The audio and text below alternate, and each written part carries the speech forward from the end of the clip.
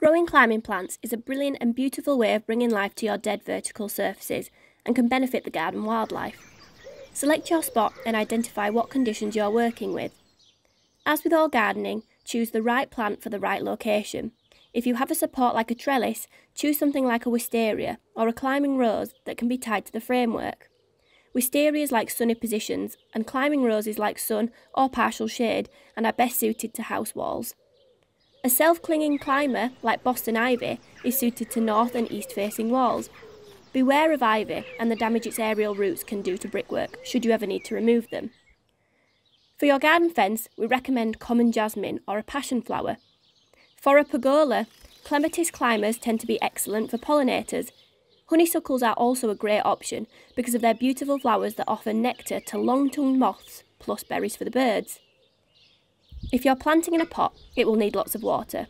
Use as large a pot as you can. Your plant will be happier and need less watering. Make sure there is good drainage. Put some broken bits of pot in the bottom and use a good peat-free compost. Some climbers will need pruning. Wisteria, for example, needs two prunes a year.